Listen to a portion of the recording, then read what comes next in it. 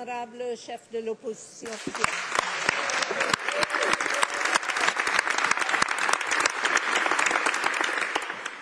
Merci beaucoup, Madame la Présidente. Euh, je ressens aujourd'hui, comme beaucoup de gens dans cette pièce, un, un certain sentiment de déjà-vu, puisqu'il y a un an, presque jour pour jour, notre regretté chef Jack Layton se levait pour prendre la parole dans cette Chambre dans des circonstances euh, quasiment identiques.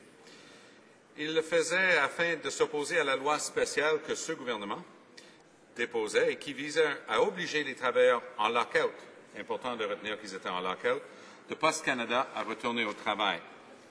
Ce qui est important de retenir quand je mentionne le lockout, c'est parce que c'est ce gouvernement lui-même qui les avait mis en lockout. Donc, dans le jargon de la négociation collective et du droit du travail, il y a un mot pour ça. C'est un mot qui fait partie du langage ordinaire, mais qui en fait a un sens spécifique en matière de relations de travail. C'est la question de mauvaise foi. Il y a rarement eu un exemple aussi flagrant de mauvaise foi de la part d'un gouvernement que celui-là. N'oublions pas, le gouvernement regarde des travailleurs chez Post Canada, ils étaient en train de travailler, le gouvernement les met en lockout, les empêche de travailler, se tourne d'abord et dit Ah, mais nom de Dieu, ils ne travaillent plus, ces gens-là, qu'est-ce qu'on va faire? Ça prend une loi spéciale pour forcer leur retour au travail. Et voilà qu'on était embarqué dans un exercice qui est une illustration d'une tendance lourde des conservateurs depuis qu'ils sont arrivés au pouvoir, de bafouer des droits collectifs, de s'attaquer aux travailleurs, d'utiliser tous les moyens à sa disposition majoritaire pour envoyer un signal clair aux employeurs cette fois-ci. Le signal, c'est que c'est barre ouverte sur les droits des travailleurs. Laissez-vous pas faire. Les conventions collectives, la Cour suprême, les droits garantis par la Charte des droits et libertés de la personne. Pour un autre jour, tout ça, nous, on est là pour imposer notre nouvelle loi et ordre. C'est barre ouverte pour les patrons. Voilà le message des conservateurs, Madame la Présidente.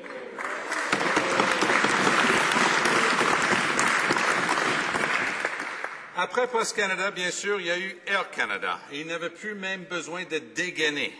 La réaction était si immédiate, ils étaient en train de gagner leur pari. Aujourd'hui, c'est le Canadien Pacifique. Donc, ce gouvernement a imposé trois lois de retour au travail au cours de cette seule session parlementaire. Trois lois spéciales adoptées en catastrophe en moins de 12 mois. Comparons maintenant cela à ce qui s'est passé au cours des dernières années et vous allez comprendre la différence et le message qu'ils essaient d'envoyer. Il y a eu seulement, pendant toutes les années 90, il y a eu seulement un total de neuf lois de retour au travail. Pendant toutes les années 80, et rappelons que les conservateurs étaient largement au pouvoir aux années 80, il y a eu seulement six lois de retour au travail. Donc vous voyez la disproportion totale. Ils sont rendus à trois lois en 12 mois.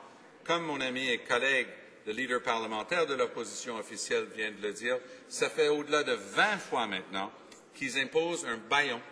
Ils utilisent une guillotine pour enlever le droit des parlementaires de parler sur des choses aussi importantes que le budget.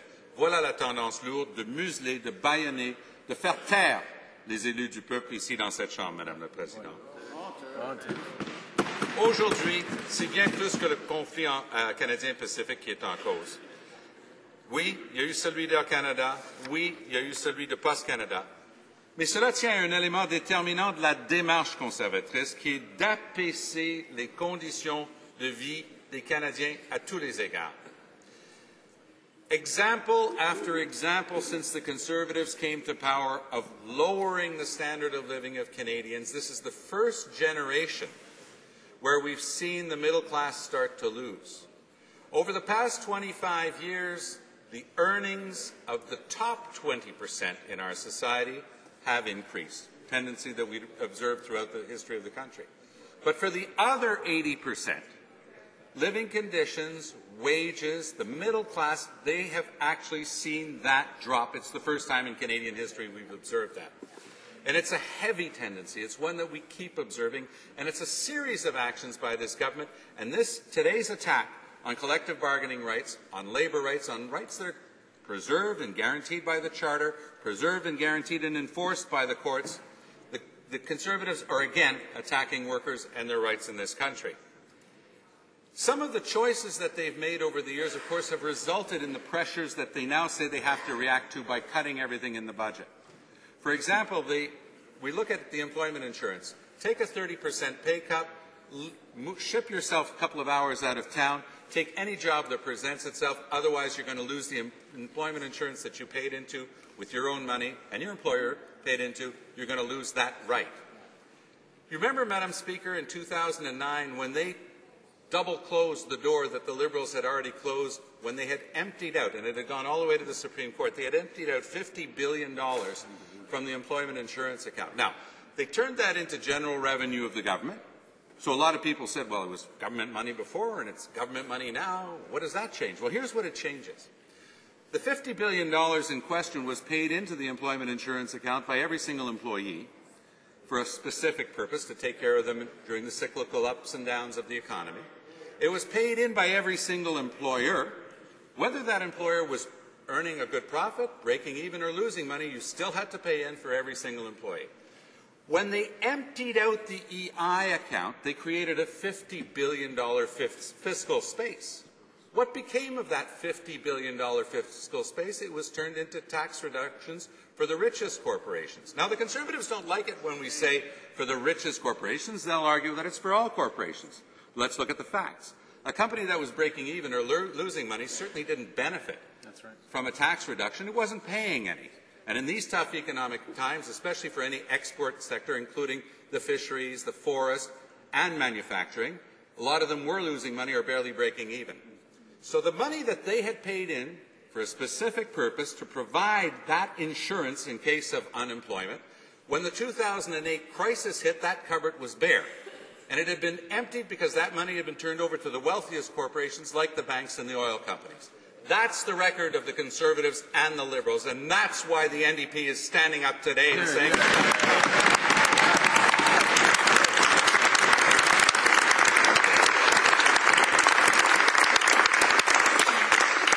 Par leur choix, ils sont en train de déséquilibrer l'économie qu'on a bâtie depuis la Deuxième Guerre mondiale.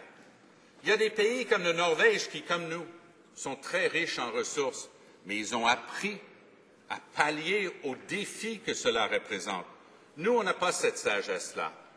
Développement débris des, des, ressources naturelles sans appliquer le principe de base de pollueur-payeur est un résultat qui est en train de nous déséquilibrer l'économie qu'on avait bâtie depuis la Deuxième Guerre mondiale. Il fut un temps où les Canadiens de Langley jusqu'au St. John's pouvaient compter sur un bon emploi, sur un salaire juste pour soutenir une famille, mais ils pouvaient compter sur une pension qui leur permettrait de prendre une retraite digne et sur un système d'assurance emploi justement accessible. Mais non.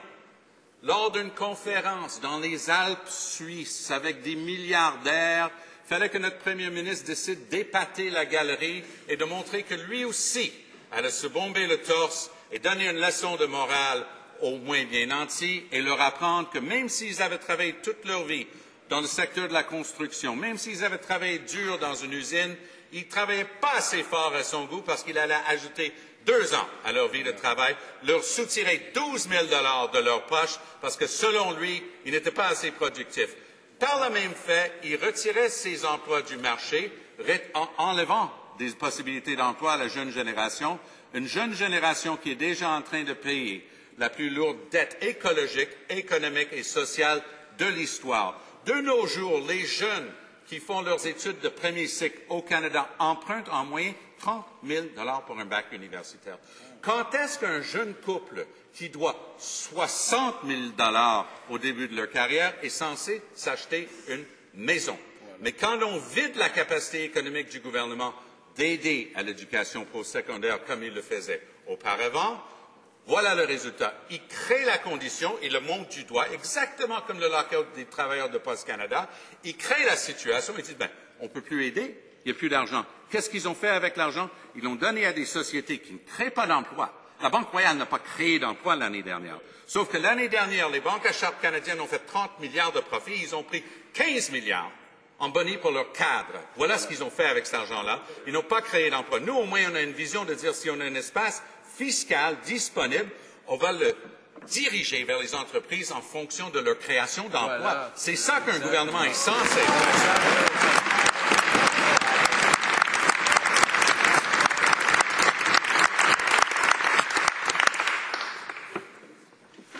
This government is trying to tell Canadians that we have to accept less, that we should accept lower wages, weaker pensions, and they are trying to create for employers an unlimited pool of cheap labor. It's, it's a commonplace and it's almost a caricature, but it's the Minister of Human Resources last week in response to a question in a press conference who specifically cited the creation of workers for McDonald's.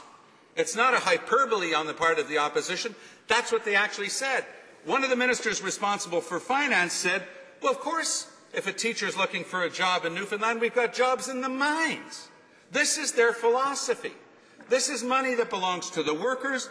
They think that it belongs to McDonald's, and they're creating a system for employers and evacuating workers' rights. And this special legislation, forcing the workers back to, on their jobs despite the collective bargaining process, is just a full illustration of exactly what they're up to lowering workers' rights, lowering the ability of the middle class to pay for itself, evacuating the capacity of the government to provide services. That's the agenda of the Conservatives.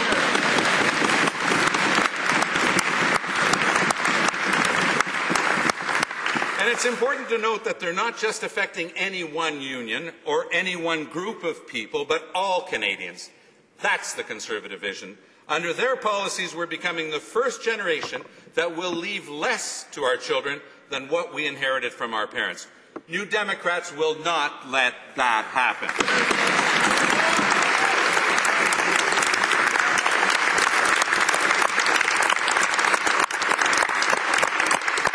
Collective bargaining is guaranteed by the Charter and by the Supreme Court of Canada. Collective bargaining benefits all Canadians. Better wages, workplace safety, a 40-hour work week, a weekend where you can actually be with your family. The list goes on, but the Conservatives are determined to dismantle it. They're undermining this right, and it's unprecedented in Canada. Air Canada, the government didn't even wait for a strike to begin to bring in legislation, didn't bother to allow negotiated settlement to happen. The Labour Minister says she will intervene in any dispute she feels impacts the economy. Last time I checked, every working Canadian contributes to the economy. That basically means no more rights. The minister is saying no labour negotiation is safe from conservative interference. The approach is unbalanced, it's heavy-handed, it's against the Charter, and it will be enforced, but it'll take time. Taking sides helps no one. Sends a terrible message that legislative settlement is the new labour relations norm in Canada. No incentive for the parties to negotiate in good faith if they know the government will step in. Why would an employer who's already received the clear signal from the government, we saw it in Canada Post, we're seeing it again, what possible incentive do they have to bargain in good faith with their employees? They could just fold their arms and say, you're going to be forced back to work. We don't care. Of course, the government doesn't care either, but they're willing to do the bidding of any employer that asks. That's what we're here standing up against today, Madam Speaker.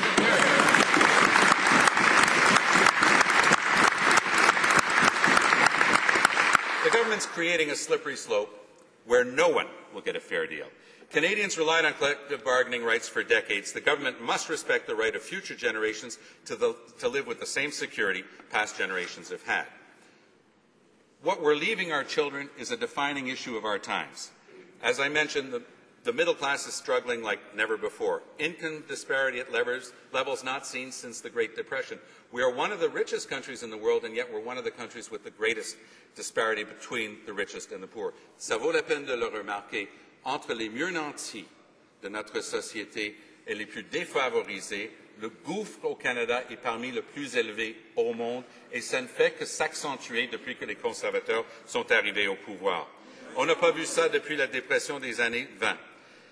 La sécurité que les Canadiens ont déjà sentie commence à disparaître et ce n'est pas du hasard, c'est voulu. Regardons ce qui se passe au Saguenay, Rio Tinto Alcan, parce que quand ils ont acheté la société Alcan, ils n'ont pas seulement acheté des usines. Rio Tinto, une société étrangère, est devenu le propriétaire du lit de la rivière Saguenay. Pensons-y, là. Il faut que ça soit au bénéfice net du Canada, c'est écrit dans la loi, quand il y a une telle reprise de contrôle d'une société canadienne par les étrangers. Petite parenthèse, avant, il y avait un déclenchement d'une analyse à un certain niveau. Maintenant, ils le portent à un milliard de dollars. Donc, des choses qui étaient analysées auparavant ne seront même plus. Mais regardons ce qu'ils ont fait, même quand ils ont fait des analyses. Ils ont coché bénéfice net du Canada pour la reprise d'Alcan par Rio Tinto. Qu'est-ce qui s'est passé? Les autorités en Europe responsables de la concurrence ont dit, mais telle partie qui fait des métaux euh, super spécialisés, vous allez vous en départir. Pas de problème, ils le vendent à un Américain. Qu'est-ce qui s'est passé après? Les Américains l'ont flippé à une entreprise aux Indes, une grande multinationale indienne. Qu'est-ce qui s'est passé? Ils ont dit, c'est pas très bien là-bas, on va le déménager aux États. Les emplois perdus du jour au lendemain. Aucune protection des travailleurs. C'est ça, l'attitude des conservateurs. Rio Tinto est encore en... et- et- regardez bien ce qui se passe là. Ils sont encore en lockout chez Rio Tinto, à Alma. Ils en ont cure. Pour eux autres, c'est comme un avertissement. Les barbares arrivent, ils démolissent le village, ils laissent les gens à l'entrée du village et disent Regardez bien le modèle qui s'en vient, vous avez intérêt à vous ranger. C'est ça qu'ils sont en train de faire, de démanteler, de détruire des décennies, des générations de protection qui aident à toute la société en démantelant tout notre système de protection des droits sociaux et des droits des travailleurs.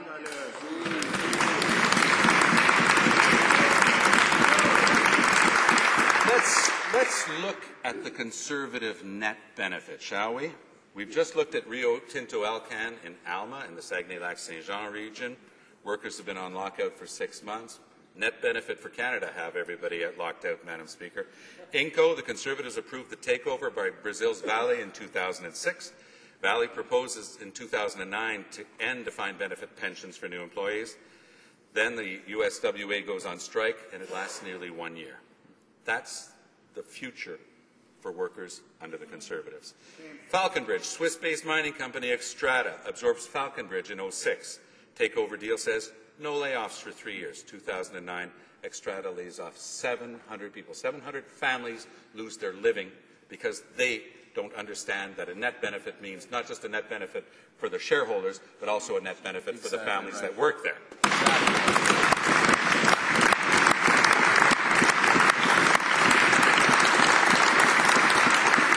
Now, here's, here's one of the best illustrations of the Conservatives' approach. And I'll start with a reference to what happened during the 2011 general election, because our current Prime Minister went out and visited a lovely company in London, Ontario called Electromotive Diesel. He used it as a backdrop, he used it as a model. As a matter of fact, since uh, there was nothing that they wouldn't do during the election, they touted a $5 million tax break, no strings attached. You don't have to create any work. You can just take the 5 million bucks. That was what he did during the 2011 election campaign. Because you see, a U.S. company called Caterpillar had bought Electromotive Diesel in 2010. So what happened in the months that followed? January 2012, 450 Electromotive Diesel employees are locked out. Why? Well, because they were being unreasonable. Because they were only being asked to take a 50% pay cut. So, and that was all part of the. After all, the company had been given five million bucks, so they were only asking for 50%. Otherwise, it must have been 60% they were thinking of. February 2012, just a few months ago, the plant is closed. The operations moved. What a net benefit for Canada. No. The government has announced plans last week to raise takeover review to a billion dollars, and there'll be even more reckless foreign takeovers that'll fly under the radar. Other working Canadians are forced to fight for their pension funds that they paid into for their golden years. Moi, je me souviens, quand le premier ministre s'est levé pour dire qu'il toucherait pas aux pensions, ça c'est une de mes fourberies préférées de la part de ce gouvernement. Le premier ministre a dit, on toucherait pas aux pensions. Quand ils ont ajouté deux ans de travail et soutiré 12 000 le ministre des Finances s'est levé et a dit Wow, we said we wouldn't touch pensions. We never said we wouldn't touch old age security. As if for the average Canadian, it wasn't one and the same thing their revenue when they were going to retire. Unprecedented attacks on workers, unprecedented attacks on the middle class. That's the legacy of the Conservatives. That's why we're here standing up today, Madam Speaker.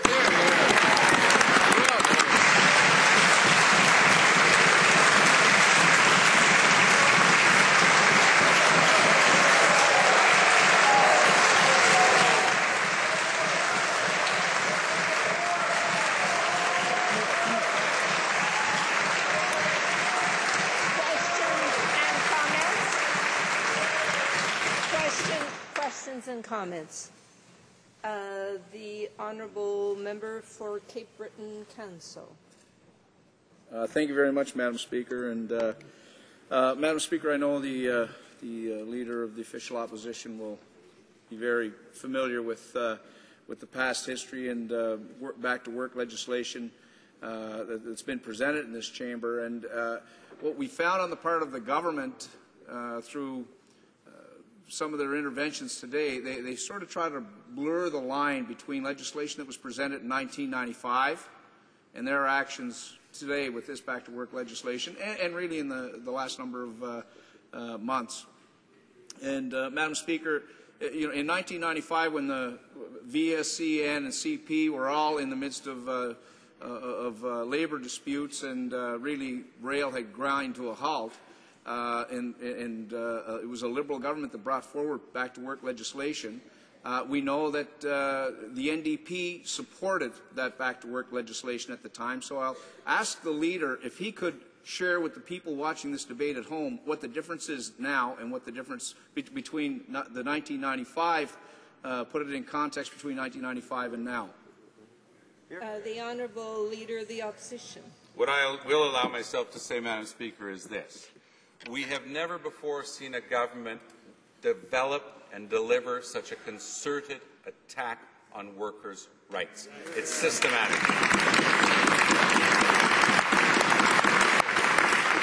Our vision is to build a Canada where no one is left behind, where we leave more for future generations, not less, where we talk about what we can accomplish, not what we can't do. That's what the Conservatives are about. All negative. We shouldn't be doing this. We should chop the size of government. We can't afford this. They're removing some of the extraordinary programs and services and ideas and institutions we've built up that are a reflection of our fundamental goodness as a people, our specificity as a nation, and that's why we're standing up to say that all of those values will be defended by the New Democratic Party. That's our vision for the future versus theirs.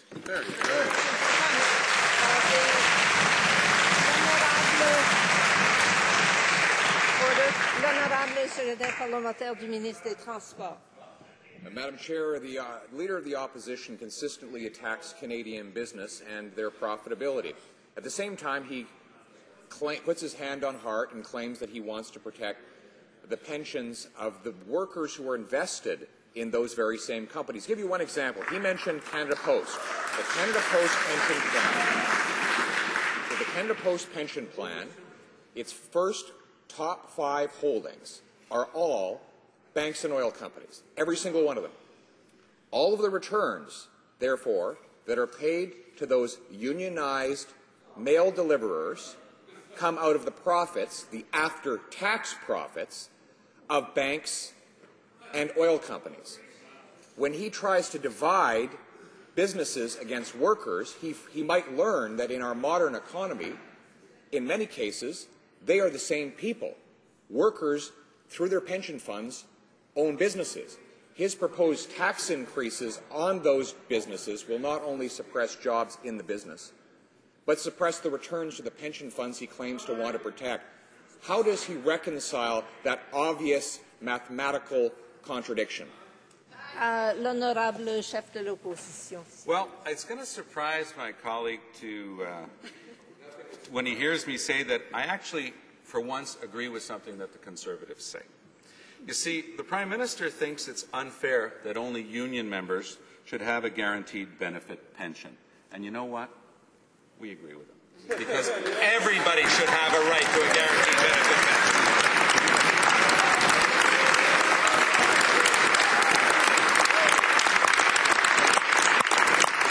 So instead of doing like he does, which is always seeking the lowest common denominator, to seeking what we cannot do, our vision is to provide the best government we can, develop programs that see people to their retirement and the ability to live with dignity. Because you know why, Madam Speaker?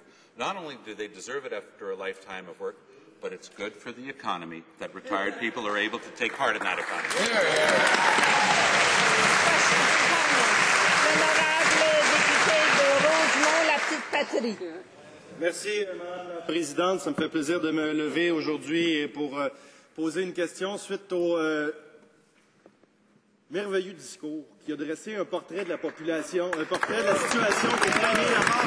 Le monde député, député d'Outremont, chef d'opposition officielle, je pense qu'on a fait ici la démonstration dans cette Chambre, avec ce discours-là, de la trajectoire et de la direction dans laquelle vont les conservateurs qui mettent des pressions à la baisse sur les conditions de travail, les conditions de vie des familles québécoises canadiennes. Et ça, pour nous, au NPD, c'est inacceptable. Et je voudrais demander je voudrais demander aux députés d'Outremont, est-ce que les conservateurs, selon lui, est-ce que les conservateurs sont en train de changer le cadre général des négociations collectives? Parce que avec Post Canada, avec Air Canada à deux reprises, et maintenant avec le Canadien Pacifique, est-ce qu'on est en train de attaquer la libre des négociations, qui est quelque chose qui est protégé par la Charte des droits, puis que nous, au NPD, on veut défendre? Oui, puis ce n'est pas une vue de l'esprit, Madame la Présidente. C'est un droit garanti par la Charte et appliqué par la Cour suprême d'une manière constante au fil des ans. Je vais sortir du cadre des relations de travail pour un instant et parler d'un sujet connexe en termes du comportement du gouvernement. On se souvient tous du travail extraordinaire qui a été livré par ma collègue, la chef adjointe du NPD, à Vancouver pour un site d'injection sécuritaire. Les conservateurs ne voulaient rien savoir pour des raisons idéologiques. Ils ont dit c'est un non-sens, on ne peut pas avoir ça. La Cour suprême, dans une, décision inédite dans l'histoire de la jurisprudence canadienne, a semoncé le gouvernement conservateur et lui a dit qu'il ne pouvait pas baser ses décisions sur une idéologie, sur de la superstition ou sur des a priori conservatrices. Non, il devait les baser sur quelque chose qu'ils ne connaissent pas, les faits les preuves. Voilà la différence. Uh,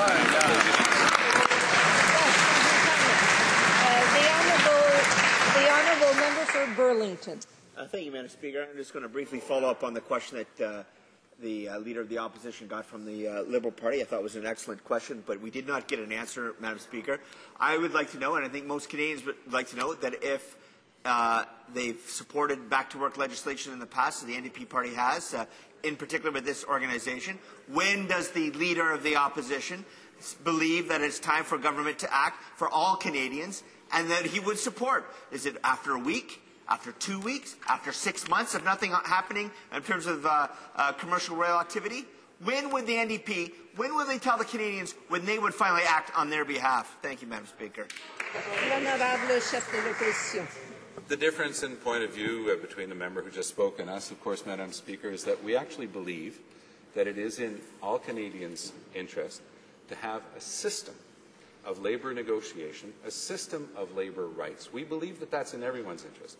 And the difference between what exists with their government and any other situation that has existed before in the history of Canada is now we have a government that is sending such a clear signal to employers don't even make an effort, don't even talk, before Air Canada even went out, they had special legislation enacted. Before they even started discussing, so what possible interest is there for any employer to negotiate in good faith? There is none. I, I regret. Order, please. I, I, would like a little order. The Honourable uh, Leader of the Opposition has the floor, and uh, he would like to respond to the question. I couldn't, Order. Hear, I couldn't hear the exact words, Madam Speaker, but I just took it as an encouragement to continue.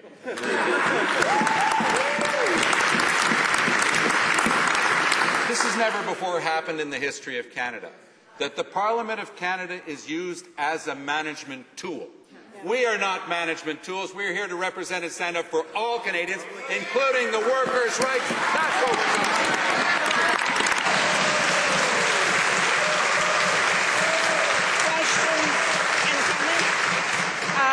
last very brief question. The honourable uh, member of Dart for Dartmouth Cole Harbour, 30-second question. Thank you very much, uh, uh, Madam Speaker, and, and I am uh, pleased to ask a, a, question, a brief one, uh, to the uh, Leader of the Opposition. I'd like to ask him what do you think it says about this government that they're so prepared to take away the rights of working people, the rights of, the, of, of senior citizens, the right of people for a protected and clean environment, for a protected and sustainable fishery. What does it say about a government that's prepared to trample all Canadians' rights? The Honourable Leader of the Opposition, 30 second response. It's a question of vision, Madam Speaker. Ours is a vision of sustainable future where we respect the rights of future generations.